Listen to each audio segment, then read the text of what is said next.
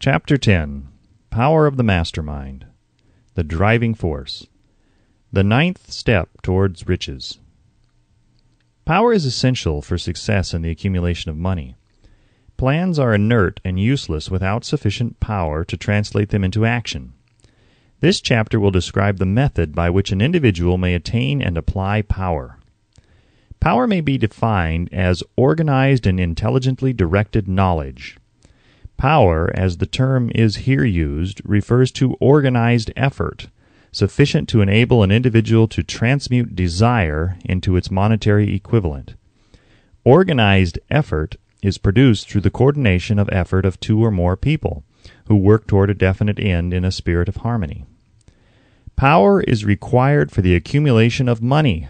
Power is necessary for the retention of money after it has been accumulated. Let us ascertain how power may be acquired. If power is organized knowledge, let us examine the sources of knowledge. A. Infinite intelligence. This source of knowledge may be contacted through the procedure described in another chapter with the aid of creative imagination. B. Accumulated experience.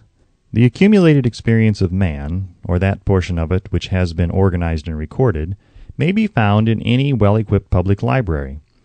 An important part of this accumulated experience is taught in public schools and colleges, where it has been classified and organized. C.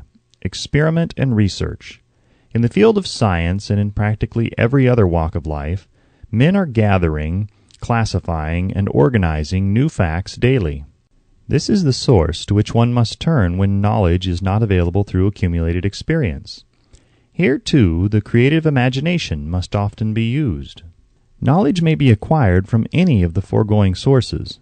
It may be converted into power by organizing it into definite plans and by expressing those plans in terms of action.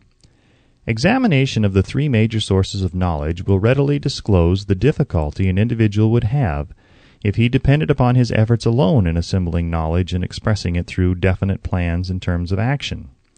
If his plans are comprehensive, and if they contemplate large proportions, he must generally induce others to cooperate with him before he can inject into them the necessary element of power. Gaining power through the mastermind. The mastermind may be defined as coordination of knowledge and effort in a spirit of harmony between two or more people for the attainment of a definite purpose. No individual may have great power without availing himself of the mastermind. In a preceding chapter, instructions were given for the creation of plans for the purpose of translating desire into its monetary equivalent. If you carry out these instructions with persistence and intelligence, and use discrimination in the selection of your mastermind group, your objective will have been halfway reached even before you begin to recognize it. So you may better understand the intangible potentialities of power available to you through a properly chosen mastermind group, we will here explain the two characteristics of the mastermind principle, one of which is economic in nature and the other psychic. The economic feature is obvious. Economic advantages may be created by any person who surrounds himself with the advice, counsel, and personal cooperation of a group of men who are willing to lend him wholehearted aid, in a spirit of perfect harmony. This form of cooperative alliance has been the basis of nearly every great fortune. Your understanding of this great truth may definitely determine your financial status.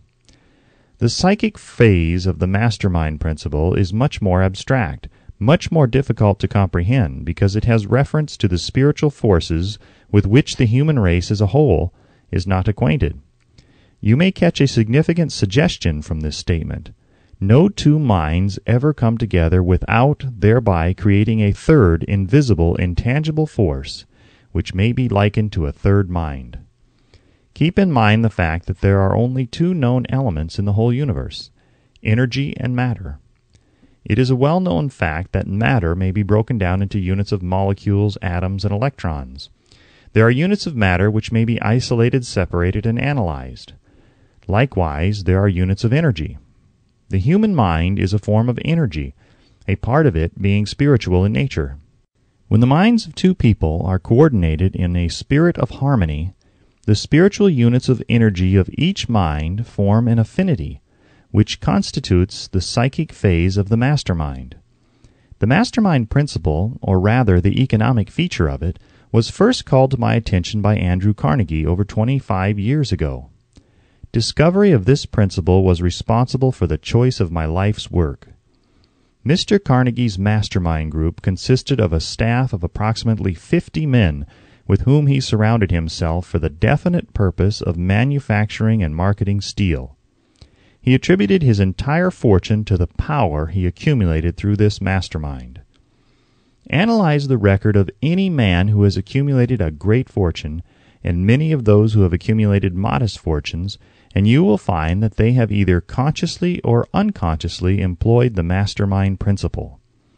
Great power can be accumulated through no other principle.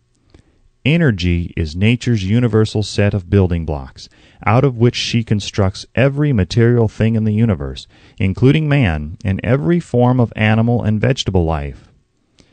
Through a process which only nature completely understands, she translates energy into matter. Nature's building blocks are available to man in the energy involved in thinking. Man's brain may be compared to an electric battery. It absorbs energy from the ether, which permeates every atom of matter and fills the entire universe. It is a well known fact that a group of electric batteries will provide more energy than a single battery. It is also a well known fact that an individual battery will provide energy in proportion to the number and capacity of the cells it contains. The brain functions in a similar fashion. This accounts for the fact that some brains are more efficient than others, and leads to this significant statement.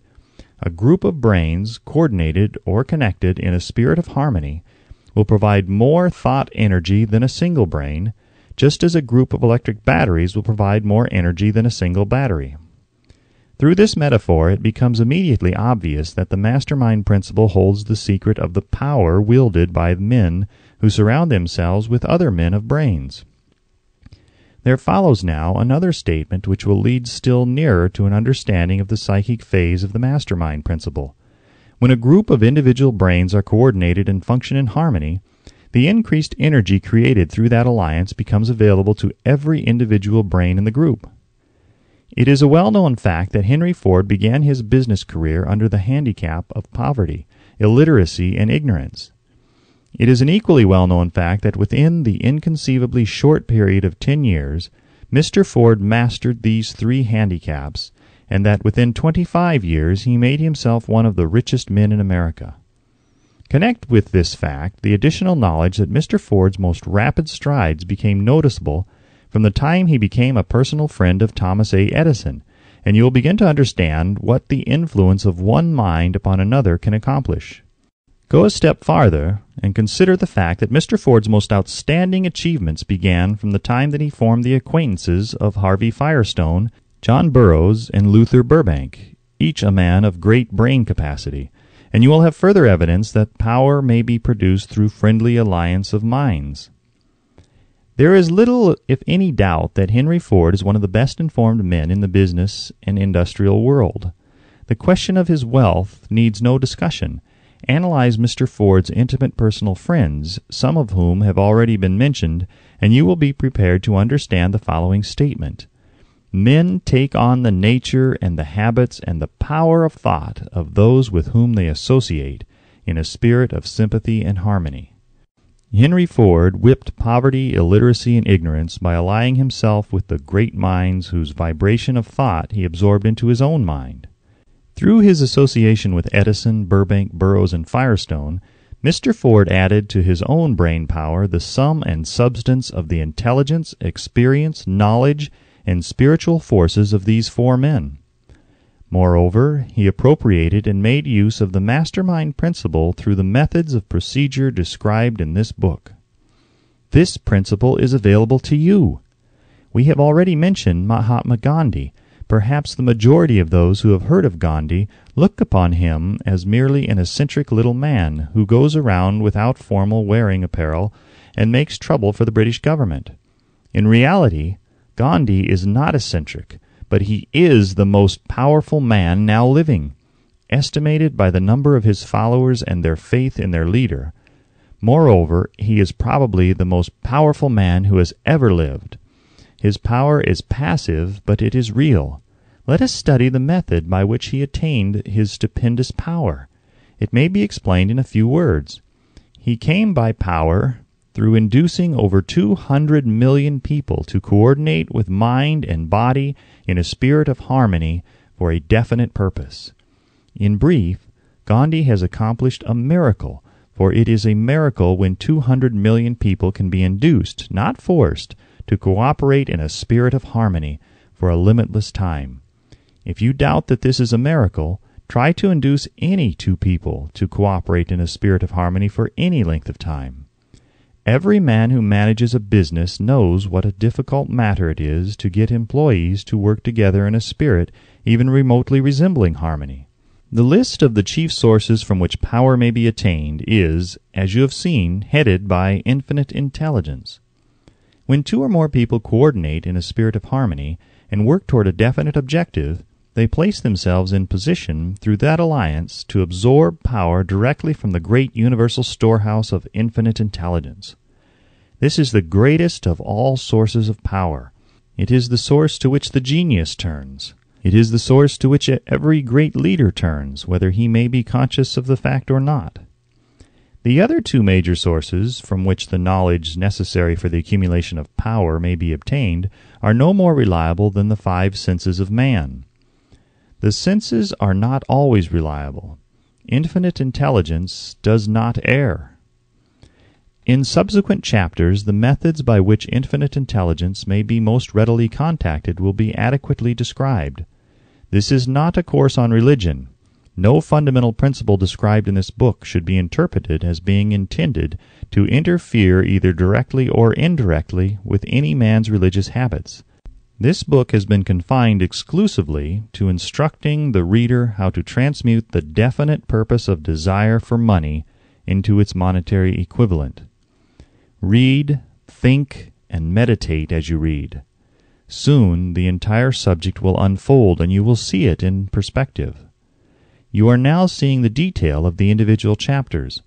Money is as shy and elusive as the old time maiden. It must be wooed and won by methods not unlike those used by a determined lover in pursuit of the girl of his choice. And coincidental as it is, the power used in the wooing of money is not greatly different from that used in wooing a maiden.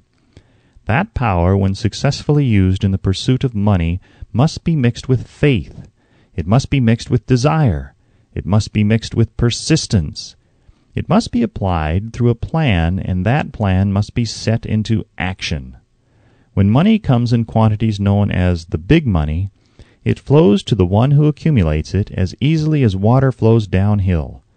There exists a great unseen stream of power which may be compared to a river, except that one side flows in one direction, carrying all who get into that side of the stream onward and upward to wealth and the other side flows in the opposite direction, carrying all those who are unfortunate enough to get into it, and not able to extricate themselves from it, downward to misery and poverty. Every man who has accumulated a great fortune has recognized the existence of this stream of life. It consists of one's thinking process. The positive emotions of thought form the side of the stream which carries one to fortune. The negative emotions form the side which carries one down to poverty. This carries a thought of stupendous importance to the person who is following this book with the object of accumulating a fortune. If you are in the side of the stream of power which leads to poverty, this may serve as an oar by which you may propel yourself over into the other side of the stream. It can serve you only through application and use. Merely reading and passing judgment on it, either one way or another, will in no way benefit you. Some people undergo the experience of alternating between the positive and negative sides of the stream, being at times on the positive side and at times on the negative side. The Wall Street crash of 29 swept millions of people from the positive to the negative side of the stream. These millions are struggling, some of them in desperation and fear, to get back into the positive side of the stream. This book was written especially for those millions. Poverty and riches often change places. The crash taught the world this truth, although the world will not long remember the lesson. Poverty may and generally does voluntarily take the place of riches. When riches take the place of poverty, the change is usually brought about through well conceived and carefully executed plans. Poverty needs no plan. It needs no one to aid it, because it is bold and ruthless. Riches are shy and timid. They have to be attracted. Anybody can wish for riches, and most people do. But only a few know that a definite plan plus a burning desire for wealth are the only dependable means of accumulating wealth.